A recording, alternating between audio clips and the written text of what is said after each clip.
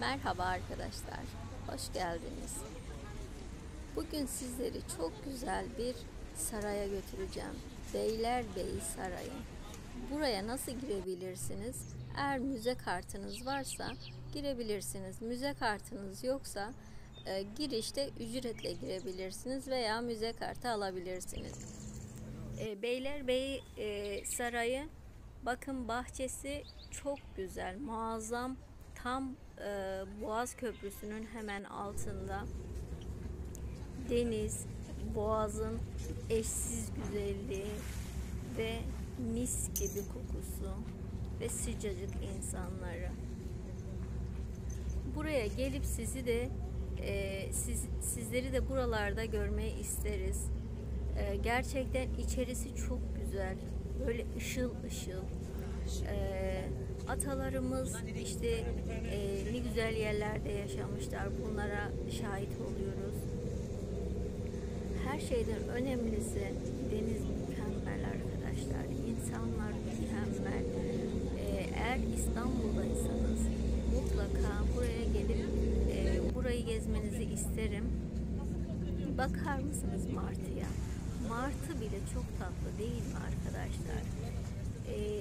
Gerçekten çok güzel bir yer. İçerisi içerisi dışarıdan daha güzel. Bahçesi güzel, denizi güzel, manzarası güzel. Böyle bir güzellik yok gerçekten arkadaşlar. Ee, iyi ki gitmişim, iyi ki e, ziyaret etmişim. Gerçekten görülmeye değer bir yer. Gördüğünüz gibi zaten tıklım tıklım bir sürü insanlar var.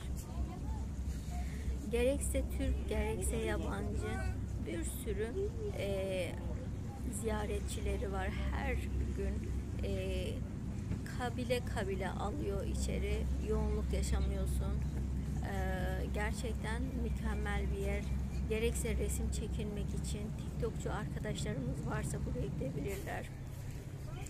YouTube çekmek isteyen arkadaşlarım varsa e, gidebilirler. Bakar mısınız işçiliği arkadaşlar? E, çok güzel değil mi? Mükemmel bir yer. Gerçekten bahçesine bakın arkadaşlar. E, yavaş yavaş yaklaşıyoruz. İçeri gireceğiz. E, içeride maalesef ki e, çekim e, yapılmıyor. Çekime izin verilmiyor arkadaşlar. E, bunu da söylemek istiyorum. Çekim e, yapamadık kapısında e, güzel bir aslan. Ben de bir Galatasaraylı olarak aslanları çok severim. E, bahçeyi, e, manzarayı kısaca size göstermek istedim arkadaşlar. E, buraya gelip ziyaret etmek isteyen arkadaşlarım varsa gönül rahatlığıyla gelebilir, gezebilir ailesiyle. Sanırım bu da geyik.